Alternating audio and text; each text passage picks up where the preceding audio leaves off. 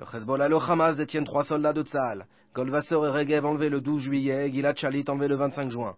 La guerre du Liban de cet été avait pour but de libérer nos soldats. Info Live TV parti à la recherche des impressions de la rue de Jérusalem. Huitième numéro de La Voix du Peuple. המלחמה הייתה מוצדקת כי אנחנו הותקפנו ולא הייתה לנו ברירה. בקשר לחטופים, רצוי ל- ללחוץ יותר בכיוון הזה ולבקש, אה, כמובן בדרכי שלום, אה, לעשות אה, יותר.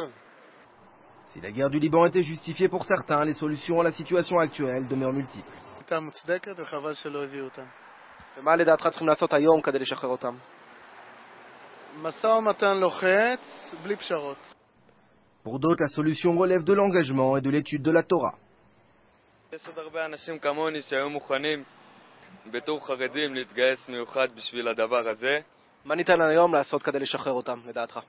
היום, למאמינים זה תורה ותפילה, ולאלה שלא מאמינים זה לשבת ולחכות. Guerre totale contre le Liban ou vision pessimiste, la rue de Jérusalem est partagée.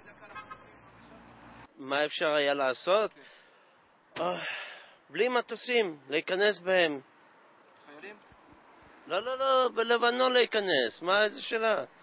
מה המטוסים יכולים לעשות? לשים בומבות? זה, מה זה? זה, זה צחוק, כאילו לשים בעין שתי בומבות.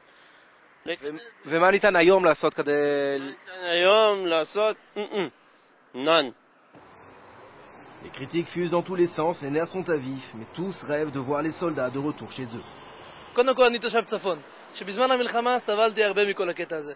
המדינה שלנו לא פעלה כמו שצריכים לפעול, זה קודם כל, אנחנו צריכים לדעת את זה.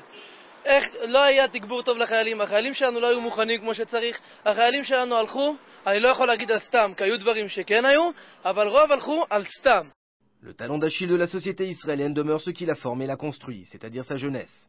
La rue de Jérusalem ne peut donc rester sensible six mois après l'enlèvement des soldats Regev, Goldwasser et Shalit, d'autant plus que rien semble indiquer aujourd'hui qu'ils sont en vie et que leur libération est proche. Benny Sambert pour InfoLife TV.